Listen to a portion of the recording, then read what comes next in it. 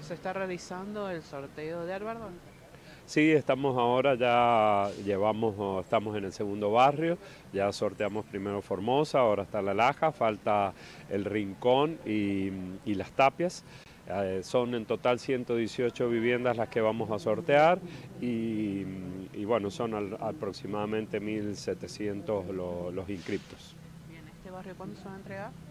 Y este barrio, de acuerdo al análisis ya que tengamos de los adjudicatarios, vamos a poder eh, establecer ya junto con el municipio la entrega de estas viviendas, pero todavía no tenemos fecha. Bien, cambiando de tema, eh, ya hablando ya después de, lo que es el 10 de diciembre, ¿ya ha tenido algún acercamiento con gente del, gobierno, del gobernador electo, Marcelo Reo?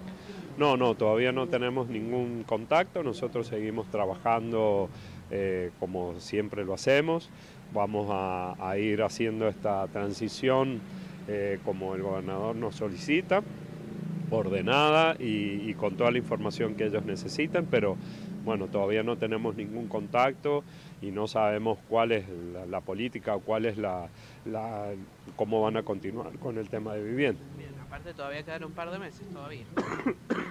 Perdón, sí, eh, todavía quedan unos meses, pero bueno, es importante ir elaborando esta información porque nosotros eh, tenemos mucho, eh, muchas cosas que continúan no, no, no cortamos con una gestión y después empiezan de cero. Barrios eh, en construcción, barrios que tenemos que ir entregando nosotros hasta fin de año y después vamos a tener, eh, ellos van a tener que entregar barrios los primeros meses del año que viene, por lo tanto nosotros debemos dejarle ya la información para que ellos puedan hacerlo.